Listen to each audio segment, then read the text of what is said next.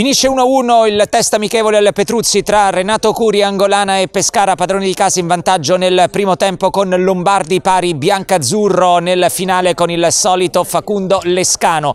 Torna al 4-3-1-2 il tecnico Colombo nel primo tempo, Luca Mora fa il trequartista alle spalle di Cuppone e Blanuta in mediana, Kraja con Germinario ancora una volta in campo dal primo minuto e Giabua mezze ali in difesa, Boben e Capitani Ingrosso con Saccani e De Marino e Lati. Tra i pali c'è Sommariva. Il Pescara nel primo tempo ha l'occasione per passare in vantaggio con il calcio di rigore che si è procurato Cuppone, la conclusione dell'ex Casertana toccata dal portiere di casa Cosentino deviata sul palo. Nel finire di tempo il vantaggio dell'Angolana, ripartenza di Lombardi che corre molto bene per vie centrali, conclusione all'angolino basso, non può arrivare Sommariva arriva. È un Pescara che ha provato a costruire ma che a conti fatti, ad eccezione dell'episodio del rigore, non si è mai reso pericoloso. Nella ripresa Colombo deve ruotare le mezze ali. Nel primo tempo è durata 20 minuti la partita di Germinario. Al suo posto gioca Milani poi tocca Pellacani e a gara in corso Chiarella. Ben quattro giocatori differenti nel ruolo di mezzala. Anche un segnale che il mercato è necessario per completare il reparto. Il Pescara alla mezz'ora eh, è completamente rinnovato. Giocano tutti gli effettivi della panchina. Il pari arriva con il cross di un più che positivo Cancellotti, colpo di testa di Lescano che termina all'angolino, al triplice fischio le parole del DS Daniele Dellicarri e di Aristidi Colai. Dellicarri primo bilancio dopo questa serie di amichevoli estive. No, beh, il bilancio sulle amichevoli io non lo faccio mai perché penso sempre all'inizio del campionato che è la cosa più importante. Cominciamo a avvicinarci, siamo molto vicini, mancherà 20 giorni, eh, dobbiamo avere l'atteggiamento giusto per affrontare le partite come sempre, ma delle amichevoli non parlo, non mi interessano sinceramente. Mercato tre giocatori almeno per chiudere la rosa. Mercato tre giocatori per chiudere la rosa, punto.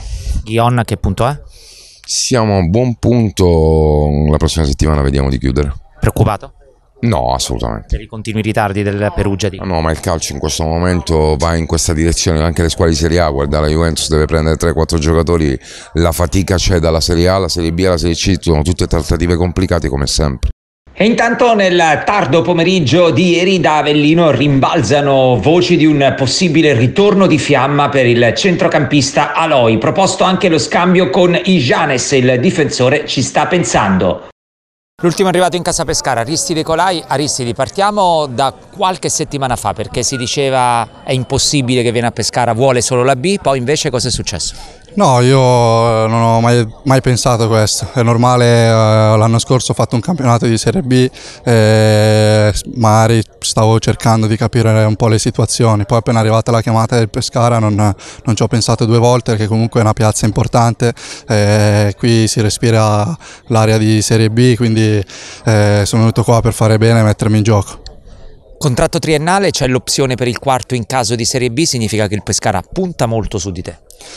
Sì, ho visto che comunque c'è stato un interesse forte, quindi anche quello mi ha spinto ad accettare la, la richiesta. E sì, abbiamo l'opzione per il quarto anno sperando di poterla esercitare. Andiamo un po' in là con gli anni perché nel Sassuolo giocavi con Raspadori, con tutti i giocatori più forti in maglia nero-verde. Il sogno tuo è ritornare lì un domani, chissà.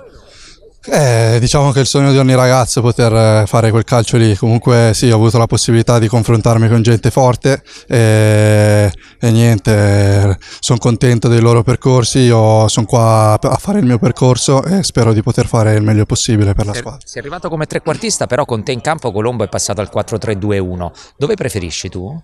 Io sono un trequartista esterno, quindi dove mi farà giocare il mister io mi metterò a disposizione, però il mio, il mio ruolo è sempre stato trequartista esterno. Con il vizio del gol, perché con la Pro Patria hai fatto anche sei reti se non ricordo male in C due anni fa. Sì, sì, sì, ho fatto, ho fatto qualche gol, comunque eh, il mio obiettivo è far bene, eh, se arrivano i gol ancora meglio.